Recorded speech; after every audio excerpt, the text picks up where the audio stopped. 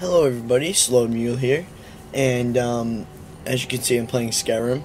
This is uh, how to um, get to the Easter egg at the uh, Throat of the World, and you get up here where this dragon guy is. He's the leader of the uh, Greybeards and whatnot. I'm not going to spoil it too much, but it's a little far. It's a little ways along in the um, learning uh, the shouts and stuff but as you can see, once you get up here, um, you're gonna have, well, first you have to talk to the Greybeards to get the shout that clears the path.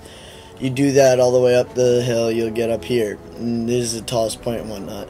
So, but you're gonna turn around and you're gonna see you're really not at the very highest.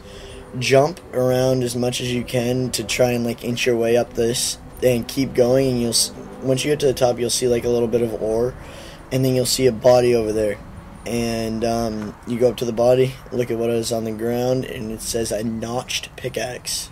Notch. Booyah. That's your Easter egg. It's pretty cool, actually, because it has a special effect type of thing, because it's enchanted and whatnot.